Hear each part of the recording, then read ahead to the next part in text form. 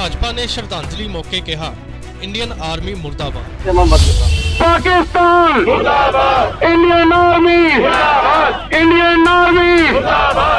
ਪੁਲਵਾਮਾ ਦੇ ਅਵੰਤੀਪੁਰਾ 'ਚ ਹੋਏ ਅੱਤਵਾਦੀ ਹਮਲੇ ਨੂੰ ਲੈ ਕੇ ਕੁਝ ਦਿਨ ਪਹਿਲਾਂ 15 ਫਰਵਰੀ ਨੂੰ ਬਟਾਲਾ 'ਚ ਭਾਜਪਾ ਵੱਲੋਂ ਪੰਜਾਬ ਭਾਜਪਾ ਪ੍ਰਧਾਨ ਸ਼ਵੇਤ ਮਲਿਕ, ਕੇਂਦਰੀ ਮੰਤਰੀ ਹਰਦੀਪ ਸਿੰਘ ਅਤੇ ਵਿਨੋਦ ਖੰਨਾ ਦੀ ਪਤਨੀ ਕਵਿਤਾ ਖੰਨਾ ਦੀ ਅਗਵਾਈ 'ਚ ਪਾਕਿਸਤਾਨ ਦਾ ਪੁਤਲਾ ਫੂਕਿਆ ਗਿਆ ਸੀ ਅਤੇ ਰੋਸ ਪ੍ਰਦਰਸ਼ਨ 'ਚ ਸ਼ਾਮਿਲ ਹੋਏ ਲੋਕਾਂ ਵਿੱਚ ਗੁੱਸਾ ਸਾਫ਼ ਤੌਰ ਤੇ ਦਿਖ ਰਿਹਾ ਸੀ। ਲੋਕਾਂ ਨੇ ਪਾਕਿਸਤਾਨ ਅਤੇ ਅੱਤਵਾਦ ਦੇ ਖਿਲਾਫ ਜੰਮ ਕੇ ਨਾਅਰੇਬਾਜ਼ੀ ਕੀਤੀ। ਨਾਰੇਬਾਜ਼ੀ 'ਚ ਭਾਜਪਾ ਦੇ ਵਰਕਰ ਇੰਨਾ ਮਸਤ ਹੋ ਗਏ ਕਿ ਭਾਜਪਾ ਦੇ ਵਰਕਰਾਂ ਨੇ ਇੰਡੀਅਨ ਆਰਮੀ ਮੁਰਦਾਬਾਦ ਦੇ ਨਾਰੇ ਲਗਾਉਣੇ ਸ਼ੁਰੂ ਕਰ ਦਿੱਤੇ ਜਿਸ ਦੀ ਵੀਡੀਓ ਅੱਗ ਵਾਂਗ ਵਾਇਰਲ ਹੋ ਗਈ।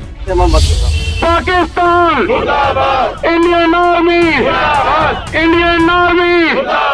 Indian army! ਉਧਰ ਸ਼ਵੇਤ ਮਲਿਕ ਅਤੇ ਕੇਂਦਰੀ ਮੰਤਰੀ ਹਰਦੀਪ ਸਿੰਘ ਨੇ ਕਿਹਾ ਕਿ ਇਸ ਆਤੰਕੀ ਹਮਲੇ ਦਾ ਜਵਾਬ ਸਾਡੀ ਸਰਕਾਰ ਜ਼ਰੂਰ ਦੇਵੇਗੀ। ਕੀ ਖਾਕ ਜਵਾਬ ਦੇਵੇਗੀ ਭਾਜਪਾ?